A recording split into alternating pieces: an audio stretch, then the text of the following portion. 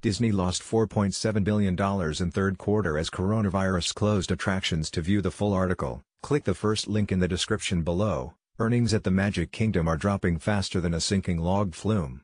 The Walt Disney Company on Tuesday reported a fiscal third quarter loss of 4.7 billion, after reporting a profit in the year-ago period.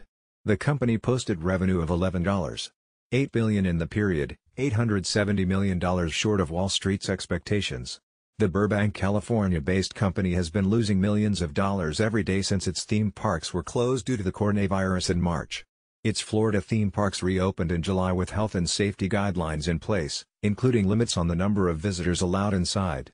Meanwhile, most of California's Disneyland remains closed as coronavirus cases mount in the state. As you know, the majority of businesses worldwide have experienced unprecedented disruption as a result of the pandemic. Disney CEO Robert Chapek said in a call with analysts to discuss its latest financial results. Most of our businesses were shut down, and this had a huge impact on our third quarter results. Delayed releases of long-expected films, including Avatar, Star Wars, Tenet and Mulan, also hurt the company's bottom line.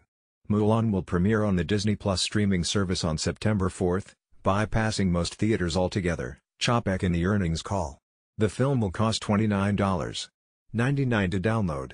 We see this as an opportunity to bring this incredible film to a broad audience currently unable to go to movie theaters, while also further enhancing the value and attractiveness of a Disney Plus subscription with this great content, the executive said.